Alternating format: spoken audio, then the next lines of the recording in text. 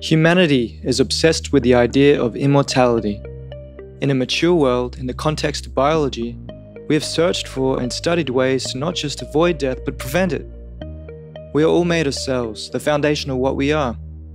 Cells are responsible for our mood, our growth, wound healing, our body's structure and support, energy production, age, reproduction, and converting food to nutrients. That's a lot. So, if our cells are responsible for all these things and make up our bodies, if we could make our cells immortal, we then become immortal, right?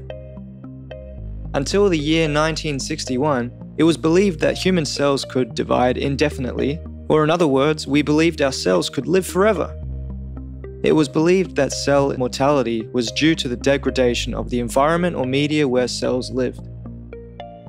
Cell immortality was based on experiments performed by Alexis Carrel in the year 1912, where Carrel reportedly was able to create a culture of chick cells that lived over 40 years, way beyond the typical years of a normal chick. However, no other scientist was able to replicate Carrel's findings, Leonard Hayflick was one of the scientists that was not able to replicate Carrel's findings and had his concerns. Some of the cultures that Hayflick created started to have slowed cell division rate after a certain number of doublings.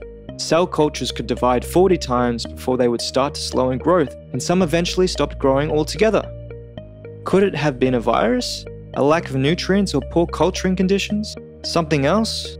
Hayflick wanted to eliminate these reasons and partnered with Paul Moorhead, a specialist in gendered cells, to determine what was really going on. The scientists mixed normal male human cells that had undergone cell division around 40 times with female cells that had undergone cell division 15 times. They also kept the male and female cells apart in separate cultures to grow as controls. After 20 extra doublings of cells, the mixed culture only had female cells remaining. This could only mean that unless viruses could tell the difference between male and female cells, the viruses were not the cause of lack of cell growth. And with cells still growing as normal in their cell medias, it must not have been poor culturing conditions.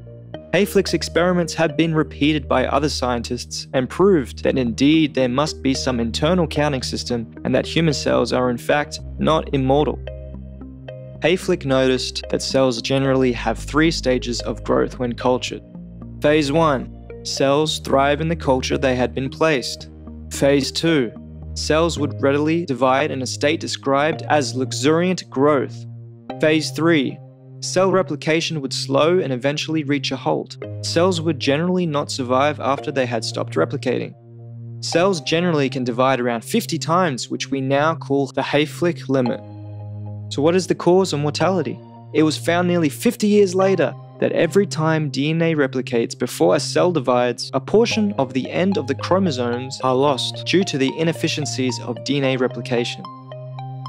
The ends of the chromosomes in our cells are called telomeres, which does not hold any genetic information. Telomeres is a repeating set of base pairs of a considerable length that allows the cells to divide without loss of genetic information.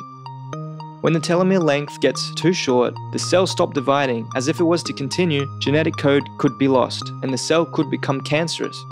The telomeres act as an internal age counter. So to tell how old a cell is, we can look at the length of the telomeres. But this is not the end all for cells. Telomerase, an enzyme responsible for the synthesis of telomeres, can regenerate the ends of the DNA so that cells can continue to divide. But Telomerase activity is not usually high in normal human adult cells, and thus we experience the conditions of age. Well, couldn't we turn on the telomerase enzyme in all our cells? Maybe in an ideal world. Studies have shown that cancerous cells usually display high levels of telomerase activity. So even if we were able to make use of telomerase to lengthen cell life and break past the Hayflick limit, we may not be able to lengthen our organism's life as a whole. There are many ways to pass away other than old age, including diseases that come the more we mature.